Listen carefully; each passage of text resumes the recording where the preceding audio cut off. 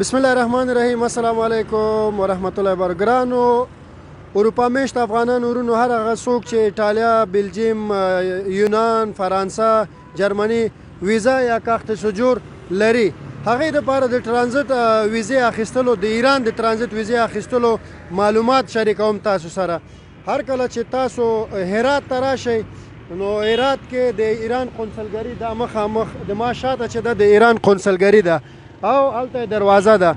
او د خواته چې دا د سرک د قونسلګری مخامخ سرک ته دکانونه دي د پارم ډکولو یا ثبت نام دا کمره واړه واخواته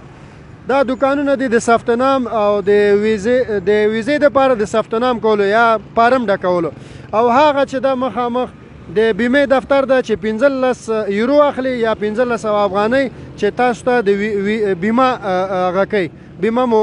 ډکوي نو هغه د بیمې چې ده داسې ورقه ده نو هر کله چې تاسو د خیره سره هرات ته راغلی که موټر کې راغلی او که په بس طیاره کې راغلی رابه شئ د ایران قونسلګرۍ ته دلته ټکسیان هم شته او زرنجون هم شته قونسلګرۍ ته چې راغلی اول سار کې به دلته فارم ډک کړئ د فارم ډکولو به سل افغانۍ ورکړي دی ورته ثبت نام وي باید یو قطعه عکس ولرئ یا دوه قطعې او سجورنو در سره او افغاني پاسپورت نور د هیڅ ضرورت نشته ده عکس پاسپورت او سجورنو یا کاخت سجور یا هغه به دلته فارم ډکې سل روپۍ افغانۍ به د فارم ډکولو ورکې نور یوه روپۍ هم د هغې کس ته د ورکولو ضرورت نشته فارم دې واخیسته لاړ به شې مخامخ به صف کې ودرېږې د سفارت هغلته صف ده لین ده هلته دې هغه ګوري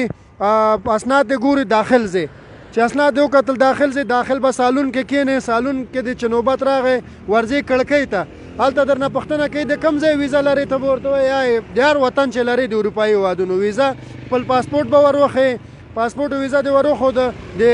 فارم به ور وښیې بیا درته هغه فارم کې امضا کوي او درته وایي چې لاړ شه اوس د بیمه پیسې جمع کړه د بیمې پیسې جمعولو کولو لپاره به د قونسلګرۍ مخامخ دا دفتر ده چې پنځلس یورو یا پنځلس سوه افغانۍ اخلي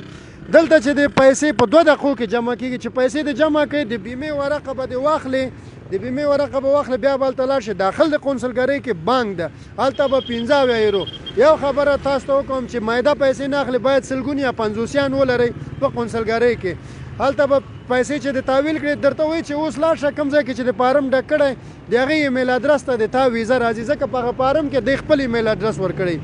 ایمیل ادرس ته به ویزه راغلی دی به درته پرینټ کې یو ساعت وخت لګیږي نو دینه بعد به بیا لاړ شي د خیره سره چې کله د ویزه واخیستله پرنټ دی که د کورونا ټیسټ هم پنځه سوه افغانۍ اخلي په دې کې دا فارمونو والا چې دا سړي ته وایي چې تا ته ریزرویشن د ټکټ هغه نه غواړي هیڅ ضرورت نشته سل ډالر شل ډالر غواړي دی دغه ضرورت نشته دا چاته د کمیشن د پیسو ورکولو ضرورت نشته دا با خبره اوسئ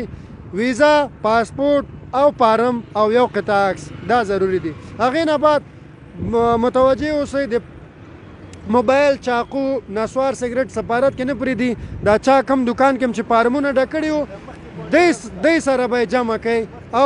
بلا معاوضه بلا پیسو چا ته کمېشن کاري یا د ضرورت نشته ده همدغسې کولای شئ چې ایران ته لاړ شئ او د کورونا ټېسټ په پنځه سوه افغانۍ خپله هم هر سړی کولای شي نو دغه وو معلومات چې مونږ تاسو ته درکړ عبدالکریم خان هرات افغانستان افغانستان زنده باد. تل دې وي افغانستان. اباد دې وي افغانستان. خدای پامه.